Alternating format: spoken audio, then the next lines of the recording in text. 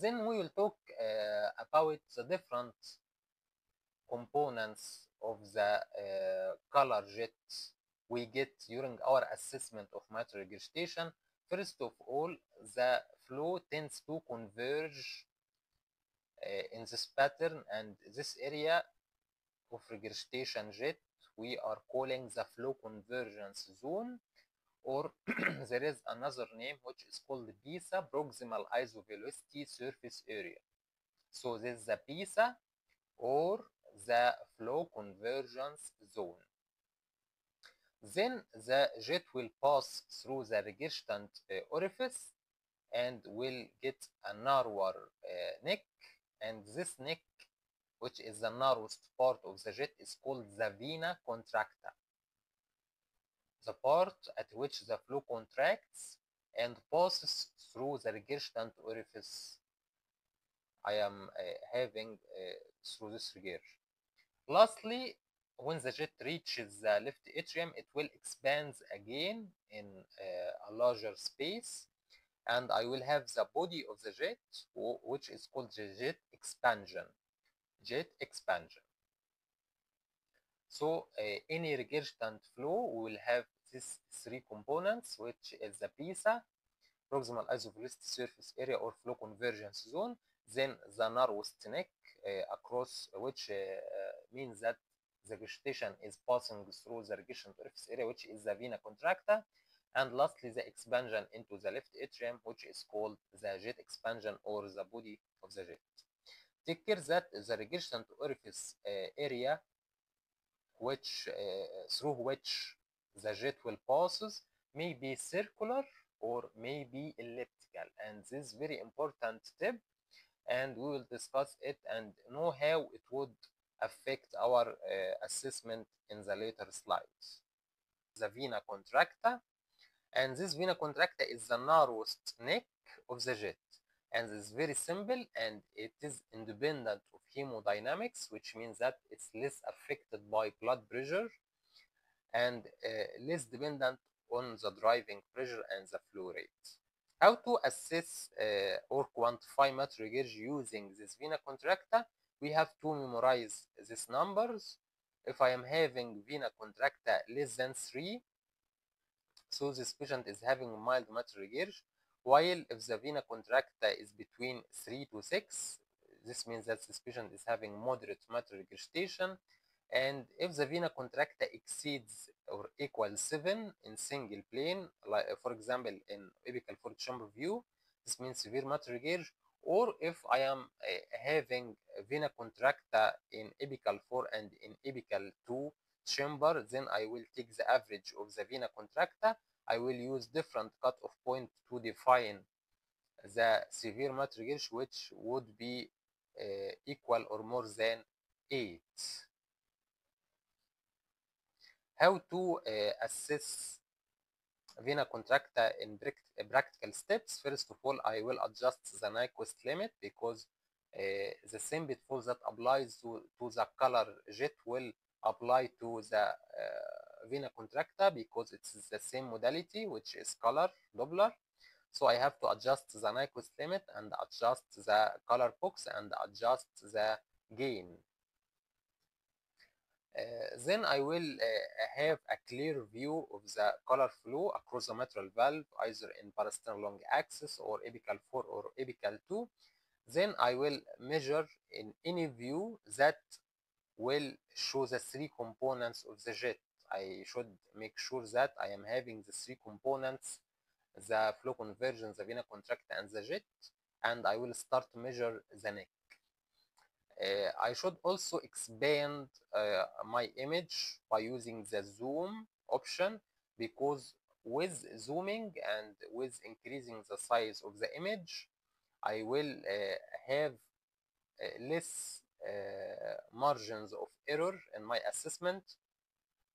Use the cine loop to find the best frame for measurement, which is the largest uh, frame or the largest jet measure the smallest vena contracta in the largest frame. Take care, I will measure the smallest neck of the jet, but in the best frame, which is the largest frame. Take care, I am searching for the largest frame to measure the narrowest part in this frame.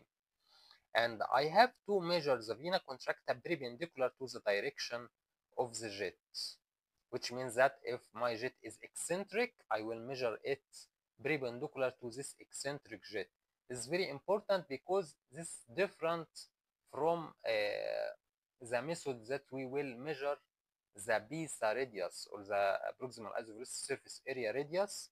Will no, we will not measure it perpendicular to the jet, but we will measure it in relation to the Doppler beam. Take care of the difference between uh, the both uh, methods of assessment of both parameters. If in parasternal long axis view, imaging must be optimized to ensure perpendicular cuts. And finally, report the average diameter if you are using uh, two perpendicular planes to assess the vena contracta. And uh, this is an example of a patient uh, which is who, who was having mild to moderate mitral regurgitation. we zoomed the image. We optimized the velocity of liaising here at 55 we optimized the color box to include the left atrium and one centimeter above and we zoomed uh, our image and searched for the best frame which is the largest frame then we measured the vena contracta the narrowest part of the jet which is usually just below the effective regurgitant orifice area we, we can see that the leaflets coapt here just below the zone of coaptation, I will find the narrowest diameter. By measuring this narrowest diameter at zoomed image, uh, we uh, found that the, the diameter was 4 millimeter or 0.4 centimeter, which means that this patient is having moderate mitral regurgitation. Take care that we are measuring the vena contracta perpendicular to the jet direction. The jet direction here is like this, and the measurement is perpendicular to this direction. What are the pitfalls of the vena contracta? First of all, it will be affected by the gain settings. Second, it depends on the color flow scale, which means that uh, low Nyquist limit will overestimate the severity, and we explain this in details. Lastly, intermediate values, uh, which means that uh, 3, 4, 5, 6 uh, will need confirmation by a more quantitative method. So in gray areas or in gray zones of quantification, I should not depend only on the vena contracta or the color jet expansion area. I should search for quantification, which is calculating the regurgitant volume and the regurgitant orifice area. Take care uh, of this note and I um, I get this image from the British uh, the recent British guidelines. In secondary mitral regurgitation and we explained what's the difference between primary and secondary mitral regurgitation. In secondary mitral regurgitation the vena contracta is elliptical because it's taking the shape of the orifice of the mitral valve. Because in secondary mitral regurgitation there is usually dilated annulus so instead of the normal coaptation of the leaflets the leaflets will get larger which means that the regurgitation occurs um, symmetrically and along the whole orifice. So i will getting oval regurgitant orifice area or elliptical orifice area, which means that if I am getting the apical fourth chamber view, the apical fourth chamber view will cut the valve like this. And we explained the different cuts and scallops of mitral valve in the mitral uh, valve anatomy lecture, so please refer to it before watching uh, this lecture. In apical fourth chamber, it will cut the valve like this. So I will measure vena contracta in shortest dimension because in oval shapes I am having transverse large dimension and vertical small dimension. In apical four chamber view in secondary mitral regurgitation, the apical four will cut the valve like this. So I will have intermediate values between the shortest diameter and the largest diameter. While if I am getting the apical two chamber view, it will get the vena contracta in its largest dimension. It is horizontal dimension like this because in apical two chamber view I will cut the valve horizontally and to understand and to understand this in detail you have to uh, refer to the anatomy the lecture of, of mitral valve anatomy that is uh, present on the YouTube so which one I would judge? And which one I would use to uh, assess the severity? The lesser one or the larger one? No. Take care. In second mitral regurgitation you have to measure both diameters the smaller the smaller one in apical four chamber view and the larger one in apical two chamber view. Then we will take the average and take care in averaged vena contracta the cutoff point for severity is 8 not 7 to say that this patient is having severe secondary mitral regurgitation the average vena contracta in apical 4 and apical 2 should be equal or exceed 8 millimeters.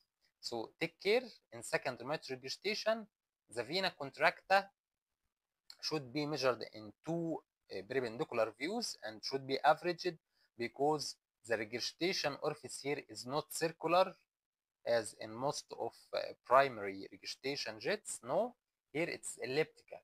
So the two-dimension assessment of diameter would underestimate or overestimate the vena contracta. So I must take the two measures and average them. This is an example uh, of second mitral regurgitation uh, and how to assess the vena contracta in this situation. Patient with uh, dilated cardiomyopathy and in apical two chamber view, we assess the vena contracta as uh, 0.6 centimeter, which means that this patient is having moderate regurg, while in apical uh, two chamber view, I am getting larger jet and larger vena contracta, and it was uh, 1.0 centimeter, which means that 10 millimeters. So which one I will uh, use? neither this nor this, but the average of both, which means that it will be 8 which means that it would be severe mitral regurgitation. Then the last part uh, and the last um,